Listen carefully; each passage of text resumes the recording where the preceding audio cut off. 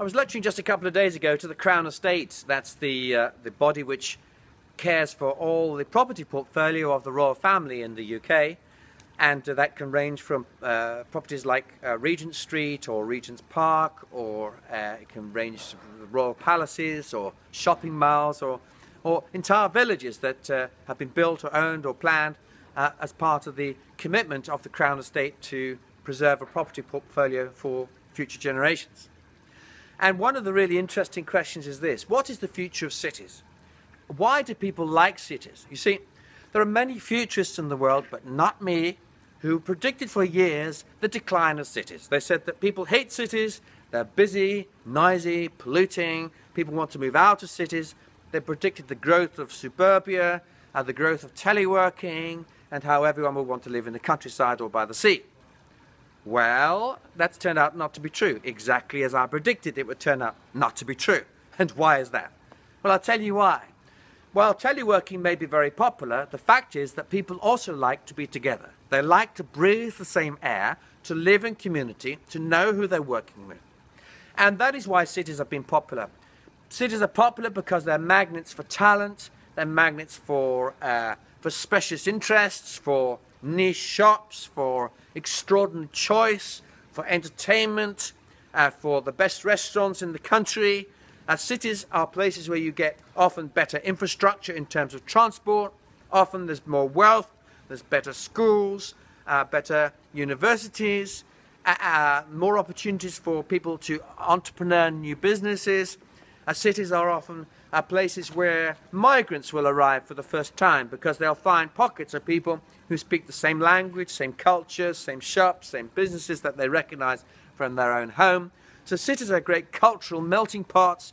They are the places where innovation is often uh, developed, where ideas merge and fuse. Uh, there's a buzz and a pace about city life. Um, so what happened to the prediction? Well, Cities around the world are growing. Over the, over the next decade, you can expect to see at least 200 million people to move towards cities in China alone. You, you'll see probably another 375 million move towards cities in Africa. Uh, we're seeing people uh, move towards cities in the UK. Uh, London's population is growing, for example, uh, will grow by 1 to 2 million over the next decade or so. Uh, you've seen uh, uh, population density increase, higher rise uh, blocks. We're seeing an extra premium on development land.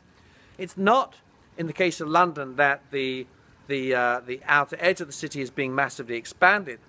It's that the, the concentration of people inside the city is continuing to grow.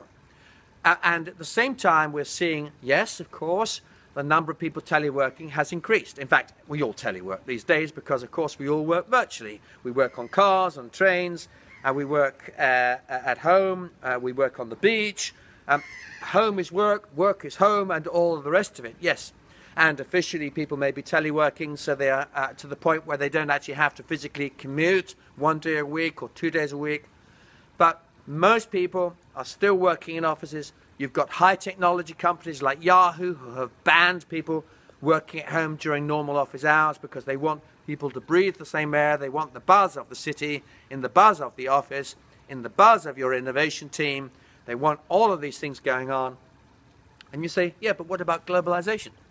Yes, it's true that for globalized companies, they may find that most of their most important working relationships are outside their physical office. So you might say, well, they might as well be at home then and just do video calls. But the fact is that there is still an advantage we find in people meeting physically together. And that's why conferencing is so popular, why corporate events continue to be a boom time industry. People gathering, different forums, seminars, meetings, workshops, communities, ideas, think tanks, whatever it is, it's the blend of people experiencing the same moment of revelation together an idea being formed, uh, a team beginning to uh, find its way forward, a, a, new initiative being processed, problems being dealt with, uh, new consumer insights being shared, whatever it is. Uh, city, community, team, belonging gatherings are absolutely vital part of our future.